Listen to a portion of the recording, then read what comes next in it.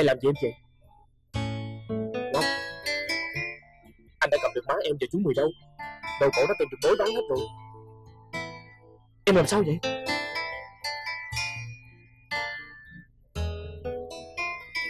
Cổ là của anh với nhà anh.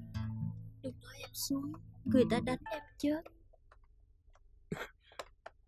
Mấy người làm gì nói vậy? Sao không đưa nó đi bệnh viện? Mày câm miệng không? Công an tới bắt bây giờ. Lỡ hành nó rồi Đưa nó vô bệnh viện Nó tố cáo làm sao? Để yên đó rồi kêu bác sĩ tới Đừng có làm to chuyện. Trời ơi trời Vì cái nhà này mà nó khổ vậy đó Mấy người biết không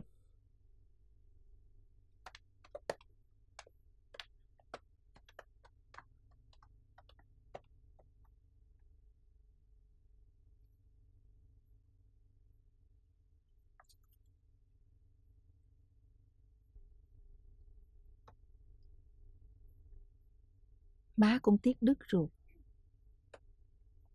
Ba con ngày xưa gom góp mới được nhiêu đây. Tiếc chi cho già người má ơi Bán đi mua đồ model xài cho sướng Chứ đồ này hả Giờ ai ngắm À, nhưng nhờ trời bán được hết số này cũng gom được nhiều tiền. Không ngờ thằng Phát tưởng là đồ bỏ, quá ra lại được việc. Theo con Số tiền này chia ba Gửi vô tín dụng Để lại mẹ để lại con mới sướng. Ủa, tụi nó về. Đại thắng rồi. Tụi con ghé nhà mấy ông bạn già của ba. À, Họ đồng ý cho mình bán hết. Họ mừng lắm. Họ còn biết ơn mình nữa. Vậy hả con? Ơn thiệt chứ sao? Để đó Vừa chặt nhà mà vừa không có tiền. Còn như trước á Là phải chia phần trăm cho con đó nghe. Mày có tiền lại xài bậy uổng á Quá ra Chơi còn khó hơn làm ăn nữa. Chó ngáp phải rồi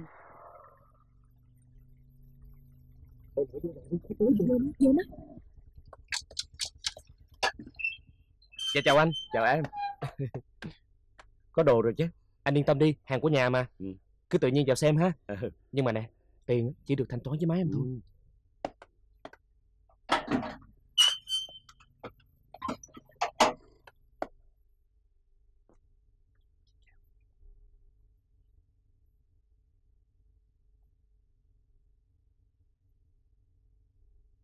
Em không phải bệnh. Mà bị hành hạ đúng không? Ai hành hạ em? Tôi có thể giúp em tố cáo trước cơ quan pháp luật.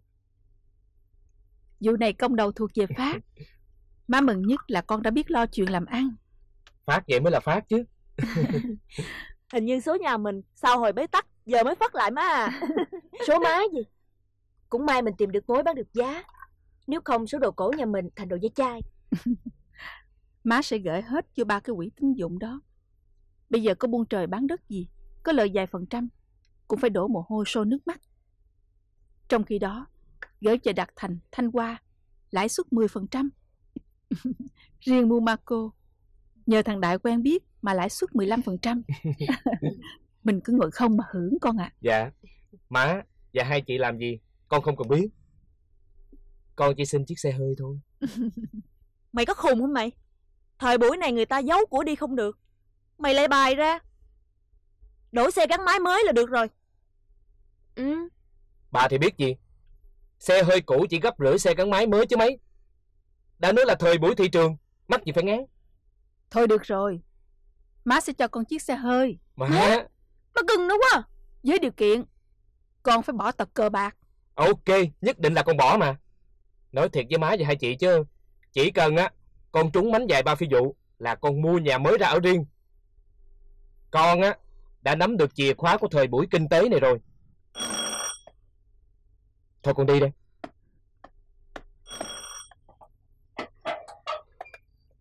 Ngọc đâu sao không ra mở cửa? Nó đi chợ rồi. Thôi đi vô đi. Em đi chơi đi. Gặp mày là cứ đi chơi không à? Vô thích sự quá. Rồi tôi sẽ ngon cho bà coi Hợp tác xã của con đang mở rộng sản xuất Nên cần quy động vốn để nâng cấp cải tạo mặt bằng Xây dựng thêm xưởng may Với lại mua sắm các máy móc thiết bị mới.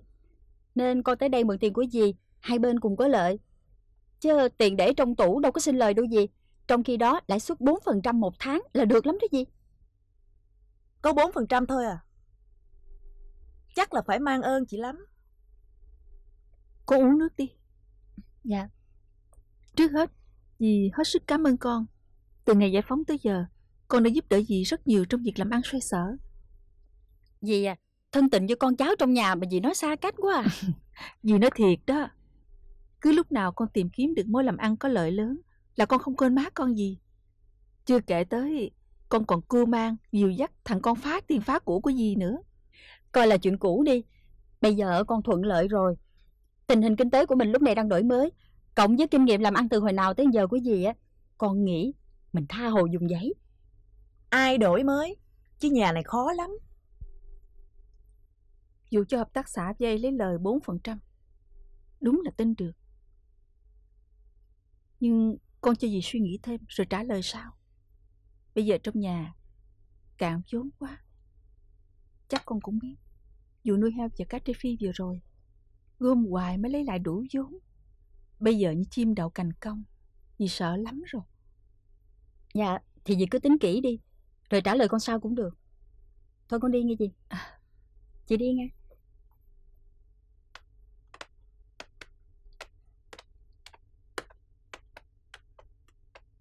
Con đảm bảo với má là nó không dai cho hợp tác xã gì đâu. Ngu gì mà sản xuất vào lúc này?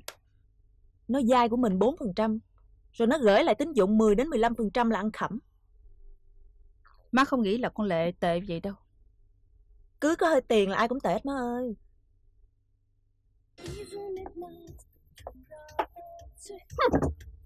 Thấy cái mặt là thấy ăn thấy ngủ à? Không ngủ chứ làm gì? Kiếm gì vậy mà đi làm? Tối ngày thấy anh ở đây Chướng con bắt bực mình quá đi. Nè Cô vừa phải thôi nha Lúc người ta có tiền á nhảy vô săn săn đón đón. Còn lúc người ta hết tiền á dở giọng xài xế Đàn ông thì lúc nào cũng làm ra tiền Chứ sống bám như đàn bà Anh là cái giống gì? Cô. Ai da Ai da. Nè Đừng có giỏi thói du phu với tôi à nha. Chịu không nổi thì biến đi. Nhớ cái mặt này nha. Nhớ chứ Đã từng yêu mà. Nhưng mà cái gì cũng phải có giới hạn của nó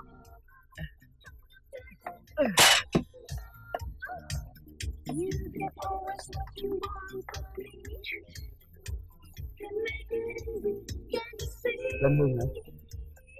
Chúc mừng. Tao ngon hơn á Thì mày rút luôn Giờ bảnh hơn Thì tao trả lại. Có sao đâu. Việc gì phải giận gì cái con. Con gì? Nói tiếp đi. Con gì hả? Để lúc xa xuống địa ngục á Diêm Dương sẽ nói cho biết. Ừ, Bye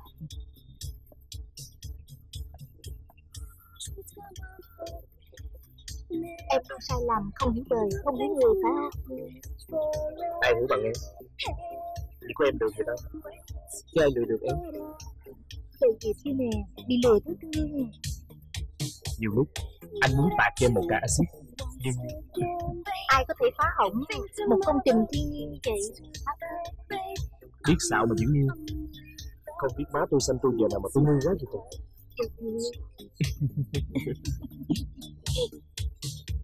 Má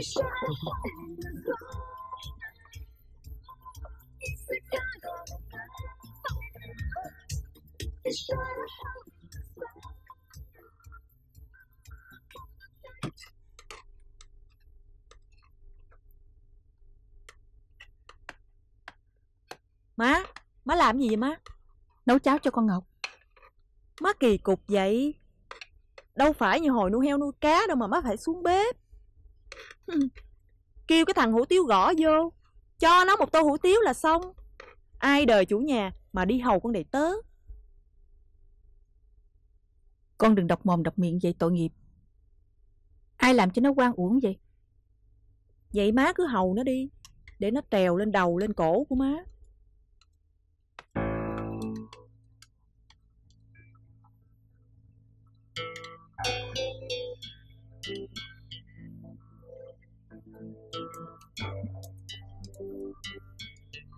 Em đã đợi chưa bác sĩ? Có nhiều rồi. Nhưng tình trạng kiệt sức vẫn còn kéo dài. Cháo ngon Con ráng một chút nha. Hay để gì đúng? Qua đã Tôi muốn hỏi thầy. Cô bé này không bệnh Mà bị gia đình bà hành hạ phải không? Nó đã kể cho bác sĩ. Em đã, đã nói được không Nhưng các vết thương tích đã nói lên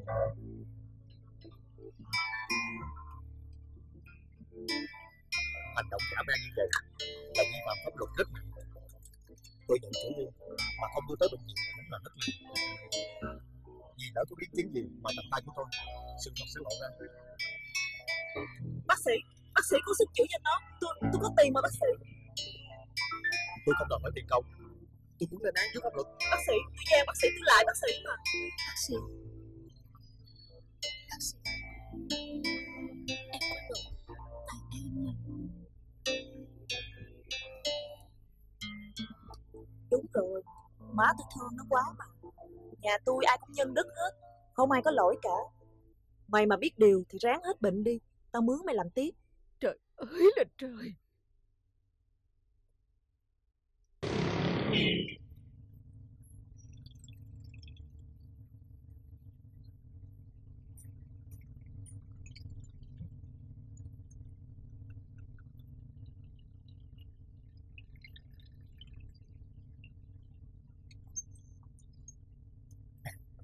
Đây chỉ là động tác giả. Để phần khóm họ nghĩ mình là dân làm ăn Chứ thu nhập chính Vẫn là nguồn lãi suất từ mấy đại gia Cũng để thằng Phát bán trời không mời thiên lôi. Tin rằng tiền bán đồ cổ. Để đầu tư làm ăn. Chứ có phải của trời cho đâu Mà nó nướng hết vô sòng bạc. Nó cũng hứa với má như đinh đóng cột Là bỏ cờ bạc. Nên má mua cho cái xe đi làm ăn đó. Tin gì cái miệng của nó? Có xe để lấy le với mấy con mắt xanh mỏ đỏ thôi chứ gì. Đàn bà Cô nào không bắt xanh mỏ đỏ? Mà cứ chơi nha. À, à, Tha cho anh, tha cho anh. À, à. Tối về tôi cho một trận nữa. Thá gì mà tha?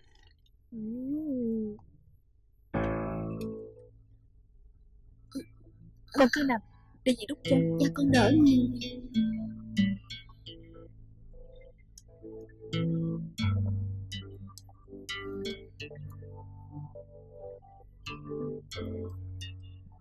Dì sống Dì không cản được mấy đâu Dì đừng bận tâm nữa. Chuyện hôm qua Dì với hai chị hiểu con Không phải là người xấu là được rồi. Từ nay, Nhìn nhận con làm con Con chịu. Con ngại mấy tuổi Qua chuyện này, Cả ba đứa Đi nhìn con Cha con. Trên đời này chỉ có má sinh ra con, Nuôi con tính toán gì hết. Con ở đâu mình cũng phải làm mà anh Con muốn trông dựa vào được ai hết. Con chặt dạ Sao phản bảo Dì thương con thiệt tình. Từ hồi biết con ở dưới quê rồi. Cảm ơn dì Nhờ trời Nhà dì bây giờ cũng khá hơn. nhiều. Đó cũng là do con của con nữa Dì lại bớt mua sắm thêm Tiện nghi trong nhà Nên công việc của nhà cũng nhà Bây giờ con có muốn đi học thêm văn qua Hay là học nghề gì? Dì sẽ tạo điều kiện cho. Dạ Để con suy nghĩ. Anh thành ông chủ thật rồi Tôi không thể tin được. Bộ em chỉ tin thằng Dũng kia thôi sao? Thôi đừng đai kiến nữa. Yên hoài chỉ đau lòng anh Chứ anh hữu gì tới tôi đâu. Xin chào hai chị. Tưởng cô Việt Biên rồi chứ. Dược viên rồi đến phát lại cho ai Tôi tưởng thằng Phát sang cô lại cho đứa khác rồi. Anh muốn chị hả? Đâu có. Mấy bà đừng xí vô chuyện người ta. Tụi tôi thương nhau lắm cắn nhau đâu Có gì phải nhiều chuyện? Đi em Theo về nhà tôi Khỏi xuống chỗ làm ăn của mấy lại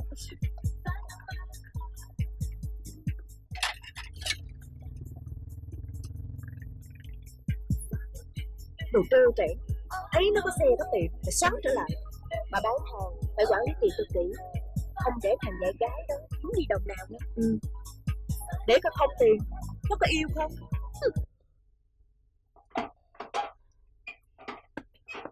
Hôm nay á Phải bù cho thời gian vừa rồi đó nha. Không dám đâu. Thôi mà. Coi chừng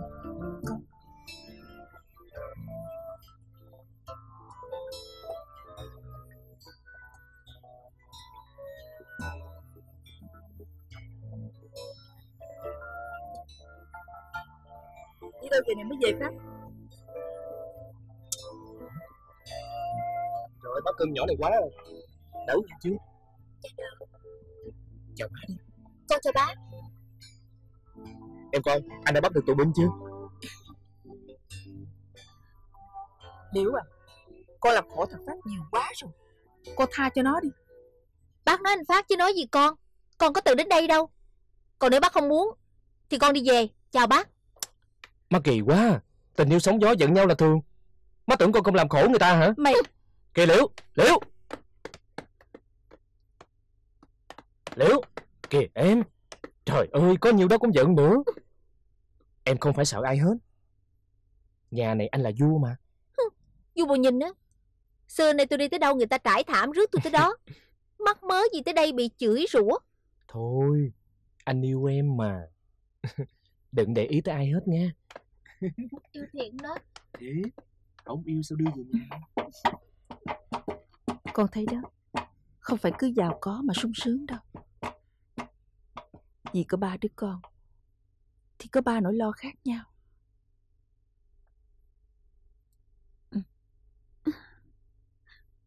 Con xin phép gì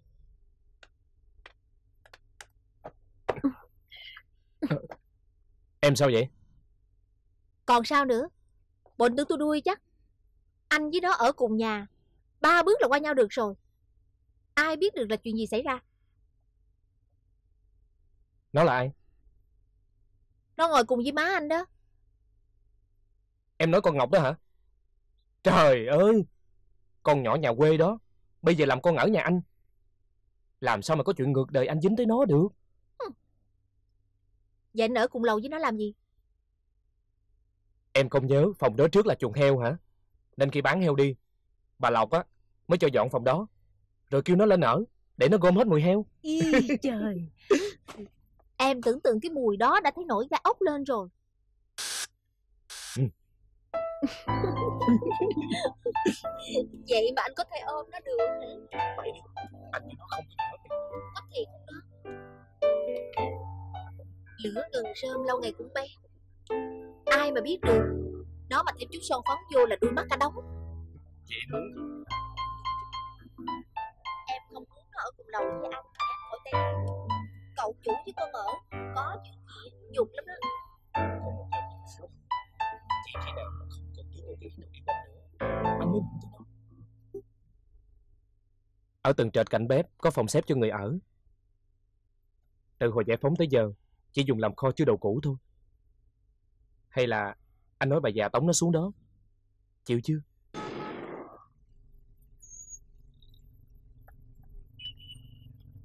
Chúng tôi tiến dụng một phần cổ đông suất ưu đãi. Ông bà cho một chuyến gửi tiền Để công ty trả lại Tại sao? Không hợp xong Chú đáo Để hợp xong Chúng tôi làm thủ tục liền qua Vậy thì cũng được. Nhưng giám đốc chúng tôi không tự tự mất thời gian Dù chỉ một phút trong chuyện chi trả. Con giữ đây má Dạ.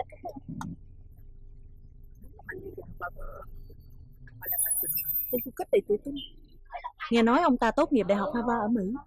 Ông ta mù mà. Người ta kể gì mù hay sáng? Ông chủ này giỏi lắm à nha. Tuy là mù nhưng hồi chế độ trước á ông ta làm cố vấn xuất nhập khẩu cho một công ty đa quốc gia đó nghe mấy bà?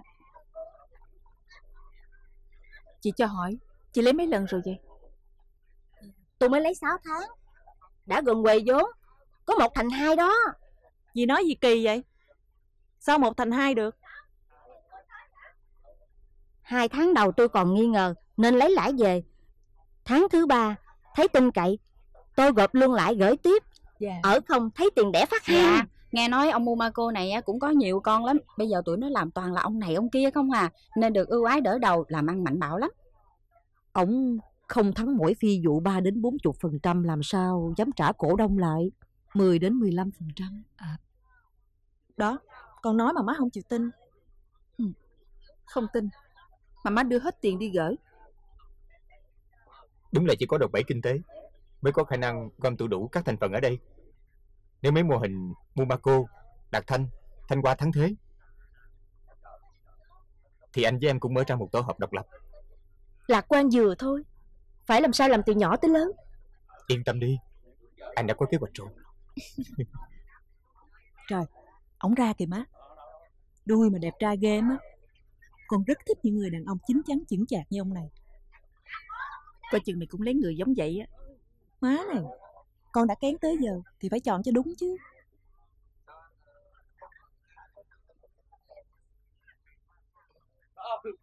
Qua màu giám đốc của Baku Xin cảm ơn các cổ đông kính yêu.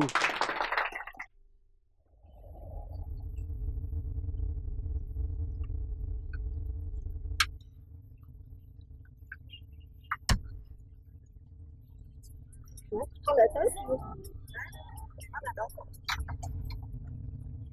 Biết đi game không? Không, biết chơi chơi gì Ngọc À, lần sau tôi tác cùng chơi đi Xe của má lệ Của má lệ rất có bị chốn Xe má như quyền của chúng ta Chúng ta không đánh Má không Chúng ta không đánh Khác lo gì Mày không phải là con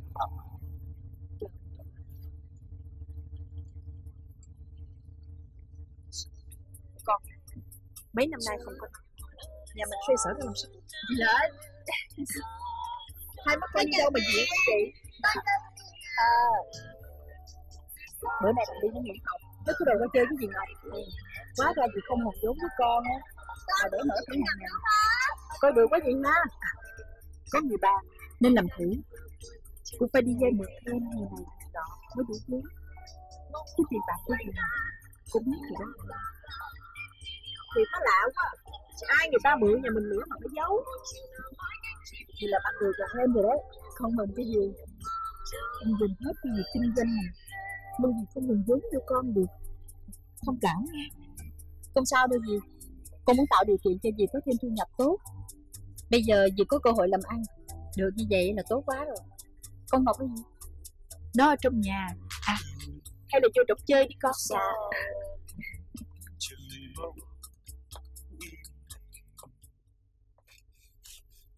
Ngọc à. Dạ. Có chị Lệ với Baby tới chơi nè con.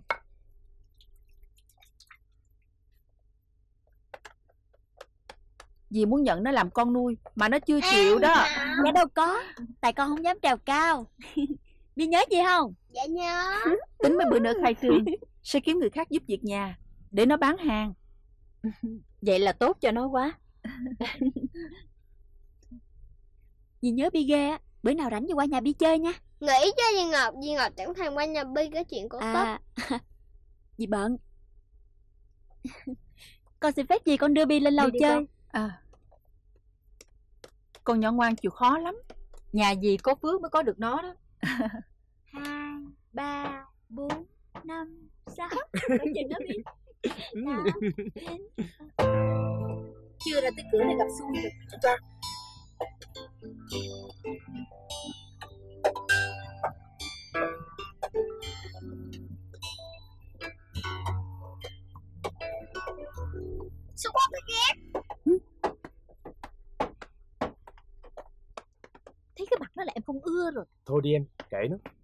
Chào bà chị Nghe nói hồi này lên lắm hả Khỏi đi bán rong hàng son lục tỉnh à Tụi em bây giờ á cũng một bước lên xe hơi. Nhưng khác bà chị, đây là xe tư nhân của em. Còn bà chị á là xe hợp tác xã. Ai dạy em làm ăn mà lên hay dữ vậy Về bản chất á là nhờ gen tư sản của ba má em. Mà còn về mánh lưới á là nhờ những ngày làm đệ tử buôn hàng lục tỉnh cho chị đó. Cảm ơn bà chị nghe. Con đi nghe má. Tụi bay đi đâu vậy? Chuyện giới trẻ má quan tâm làm gì? Đó con coi. Ngứa mắt chưa? Thôi kệ gì đừng có chấp. Tụi nó còn trẻ đời còn dài mà gì? Thôi để con lên lầu với Ngọc với Biên chút. À